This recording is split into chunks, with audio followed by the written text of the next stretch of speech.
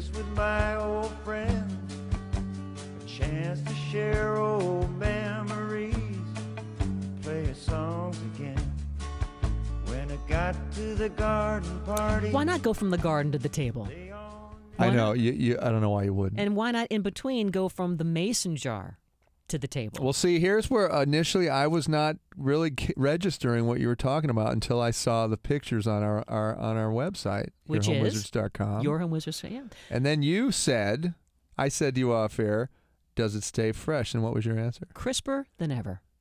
Crispiness galore. And the good news is, you know, making a salad every night during your dinner preparation is kind of a pain. It takes a lot of time. So, by the way, who are you? I'm Eric Stromer. And I'm Cindy Dole, and this is Home Wizards. And so I wanted to share with you. By the way, a, not only am I Eric Stromer, I'm Eric Stromer, mason jar salad believer. That's who I am. That's right. I've, I'm converted. I've been healed. because you didn't really know. You, I didn't you know. couldn't get I the didn't know what you were saying. All really, right, yeah. so so this is a craze. When you go online, there are Pinterest followers of just what to put in a in a mason jar in terms of salads.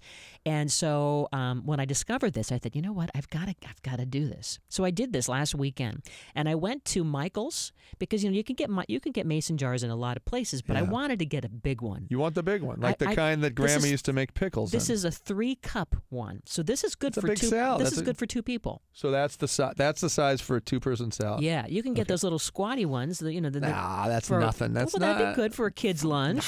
May- oh, maybe. Yeah. So, Yeah. so the idea is you figure out how many of these mason jars and what size you need, Yeah. and you know they're all over the place. You can get them. You get them all cleaned up. You stage your area, and then you go to town. And so you can go to yourhomewizards.com, and you'll see on the homepage the recipe for um, one of our layer salads that we do. And the key is, no matter what recipe you do, you put the dressing on the bottom. So you're saying that one of these salads is going to last in the refrigerator for how long? At least five days. See, that's genius. At least five days. So here, here are the tricks, though. Okay, go. The number one thing is you want to, as you're rinsing the lettuce, Yeah. because with this mason jar, when when the lid is on, it starts to become almost like a steam bath. Sure. It's Okay. almost fermenting. That's what I put my sauerkraut in. you know. Okay. Yeah. So you want to make sure that all the moisture is gone. So the salad dressing is going to be at the bottom, but you're going to trap it with other thick vegetables and things. Okay. And you layer, layer, layer, layer, layer, you know, and we'll go through the specific layers. Lettuce is always going to be on the very top, the last thing. But before you even get there, as you're chopping and rinsing and making sure you've got crispy lettuce, whatever Yeah. type you use, Right. make sure that it's really, really dry. So a salad spinner would be It's probably be a great to- I idea. mean, no moisture even, whatsoever. Even maybe lo- salad spinner and then let it sit out and dry, air Pa- dry. and paper towel, whatever. Right. Really make sure because otherwise you were going to feel, fr- you know, frustrated You're because gonna, and the stuff's going to get wilty. it's going to get a little mushy, and you Sure. can see. I mean, even though ours was really crispy and dry, I could still see a little bit of some of the steam from inside the mason jar. Oh, okay, but it was fine; it didn't affect it. Okay. So that's a tip.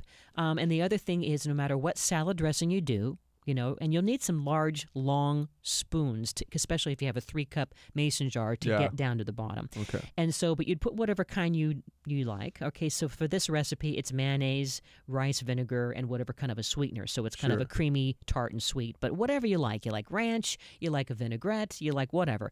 You put that in the bottom. The next thing That's is layer one. layer one. The next thing is going to be a thick vegetable. Think of it as a bar- a barrier to keep the salad dressing from mushing up the rest of the Right. stuff. So that could be bell peppers, celery, Something that doesn't get soggy something that doesn't as exactly. easily. Yeah. Mushrooms, maybe. Nah, maybe. kind yeah, of. yeah, yeah. But you know what I'm saying? It has to be kind of a thick, non soggy vegetable. That's layer two. okay. Layer three, now you're starting to feel really flexible. Sure. Now it's like something, come on, bring on the moisture. Bring it on. I don't Could care if there's green, moisture. Could be green onions. Yeah. Could be, you know, whatever other. Name some of the things you like in Well, your you could do cabbage. You could do uh, red, green, yellow peppers. Okay. You could do, you know, uh, Oh, cucumbers. cucumbers. Perfect. Right? Then you start to get to the fun stuff like the meats, because I know you like your bacon. Sure, who doesn't? And you might want to have you some might, well, cheese. yeah, you might be doing like a little, almost like a wedge salad in a You jar. could do you could do tomatoes, so you wouldn't put tomatoes at the bottom. You No. maybe want to put something else because the tomato's going to be mushy. You want something else. yeah, Maybe you cheat and put bell peppers in your wedge when Yeah. it's not normally there. Then you put the tomatoes. sure. Then put like some red onions, okay? Then let's say you put the blue cheese crumbles. Yeah. You put the bacon, Mhm. and then the very top is the iceberg lettuce. Done.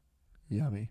And so five days later, you want a salad, it's there. It's still it's good. prepared, it's done, it's ready to go. And then when you look in your refrigerator, it looks go- beautiful. it's gorgeous. It's like a terrarium, It's going to make you. right? It's going to make you want to eat veggies. Now, there's some other ideas, some other kinds of things you could make. I know you like some fruits and nuts, well, who do? Oh, yeah, I do. so so think- you can do it with that. you could do something very simple. Let's say you wanted to have just kind of a, a triple berry nut salad. You'd have some kind of a honey dressing on the bottom, right? Mhm. Then the the the want the thickest berries, maybe like a blackberry. Put that next to the salad dressing, because again, layer two is the barrier. Yes, from the moisture. Yeah. Then you're free at last. From there, sky's the limit. Strawberries. You might do Strawberries. You might do your blueberries, blueberries. almonds, cashews, whatever. Boy, I got. Put I, on the I lid. just ordered some uh, raw cashews. Oh, so good. Yum. Anyway, go See, ahead. so Yep. then you can do this. Isn't that scrumptious? love it. Yeah. What about beans? You could do beans, right? You could do beans. Same thing, a vinaigrette, maybe some garbanzos, then followed by kidney, some red beans, and even maybe a little couscous, large uh, Goat Israeli cheese, couscous feta, on top. little you know feta I mean? maybe. Yeah. Some- yeah. Man, this is there's no end to this. So the idea is you can make a bunch of these all at once, and you're going to be not only uh, saving time but saving money. You're going to be saving your health because you'll you'll want to You're eat eating vegetables. better. It's yeah. there for you. It looks it looks good, and it's it's sealed up, and, and it can last a couple of days. How about a taco salad? Oh, a chicken taco salad. You have your kind of a cilantro creamy dressing on the bottom. I'd use corn then as my barrier, or and then even some black beans because tomatoes. While we love them, that's not going to keep the dressing from mushing up the place. So corn and black beans, layer two and layer three, then tomatoes, and then your chicken, or you want to have whatever kind of meat for your taco salad. Maybe love it. okay, and then you put the lettuce on top.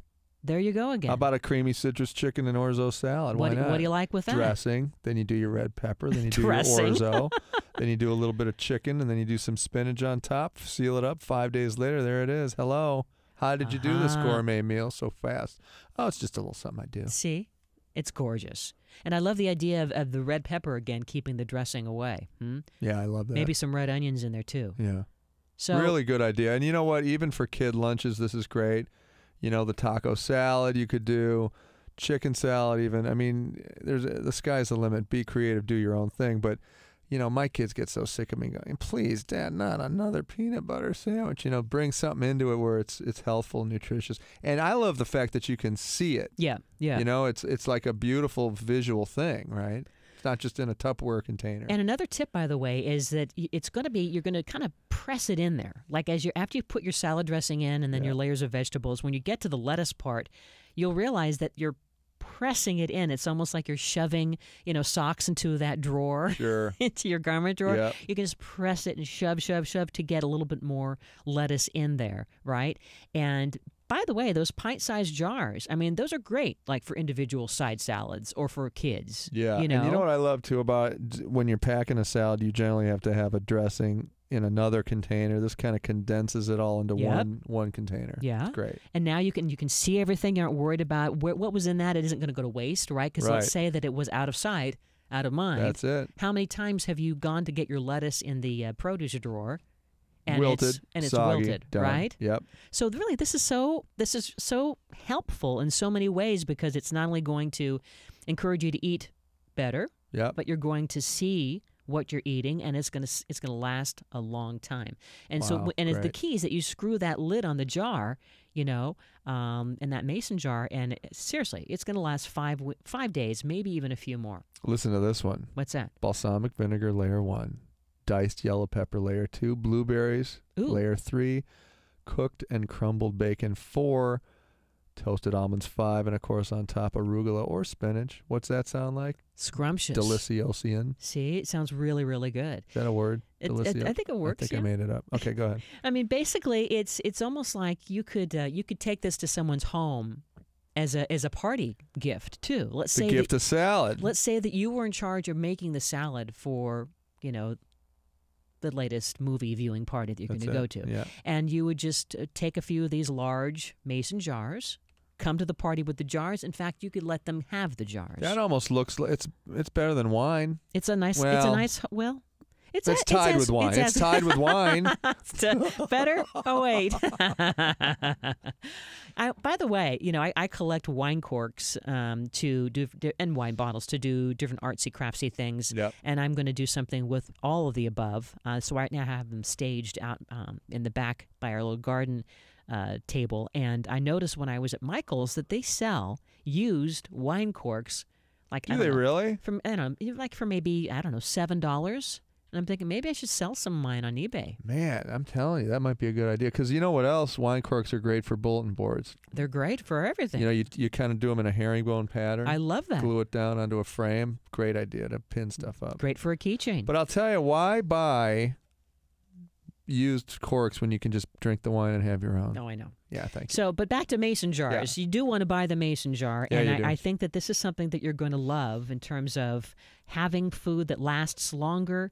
You know, just make sure that you start with a clean, wide mouth jar that is completely dry. Yep. Um, you know, always start with that that dressing on the bottom. and always have that that washed lettuce that's sat out for a couple hours so that it really air dries. And one more little tip. critical. One yeah. more little tip, by the way, that I did for one of my as I was do, uh, doing my A and B of the different kinds. I Uh-huh. added a little paper towel that I tuck on top of the lettuce inside the jar before I put the lid Oh, on. That's a good idea. And that also seemed to help because that'll absorb any of that kind it of steam. wicks away moisture for crying out loud. a little bit of that, you know. Yeah. So And we didn't even get into yogurt parfaits. Hello, or cottage cheese layers. you can do. I mean, there's so many sunflower thing. Seeds, You could, do, you could do yogurt, fruit, layer, a layer of sunflower seeds, maybe some blueberries on top. Done in a story. Scrumptious. So if you go to yourhomewizards.com, by the way, you can see right there um, our family recipe that uses the, you know, the mayo dressing and then the bell peppers, bacon, peas, cheese. Oh, Yum. Scrumptious. Anyway, we have more fun to talk about. We love to improve your home and improve your life.